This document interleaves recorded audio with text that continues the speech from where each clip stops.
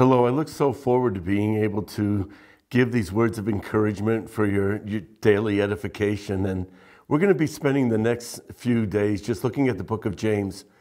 And if you read in James chapter 1, starting to read in verse 2, it says this Consider it all joy, my brethren, when you encounter various trials, knowing that the testing of your faith produces endurance.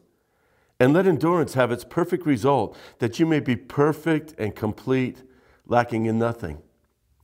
Isn't that interesting?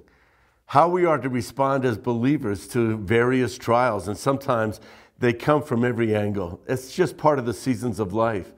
In this passage, it says, just count it all joy, or esteem this opportunity to be joyful. That's what it means. Lift up joy. Well, isn't that the exact opposite of our natural response to trials and troubles? I, I want to complain, I want to get down. There are so many ways that I want to respond that are really the means of the flesh and of my emotions. But God says, determine that when it gets tough, I'm going to be joyful. And if you decide to be joyful, the Bible says it produces something in you that is part of your maturing process. Sometimes I look at my life and I ask myself the question, Am I maturing? Well, this is a wonderful passage. It just lets us know one of the ways to prove our, our, maturity in Christ is to be patient and enduring. In other words, we're not up and down.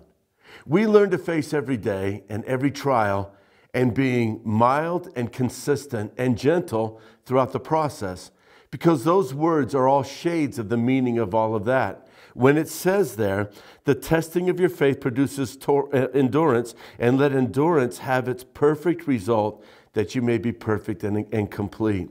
When you and I learn to be consistent and not up and down, when we're not an emotional roller coaster, when we don't send our marriage and our family and our home and our job into turmoil anytime there's a little bit of trouble, we have truly grown in Christ's likeness.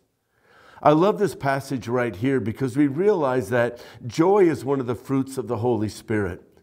It is that means by which every day we're just saying, I want to show the Holy Spirit in my life love, joy, peace, patience, and so on. So today, if you're going through a really difficult time, here's my prayer for you. I'm praying for you today that great joy of the Holy Spirit, knowing and understanding that God is Lord over your trials. There's no trial that comes to you that has not gotten past the allowance of God. Be joyful in the Lord today. Be consistent.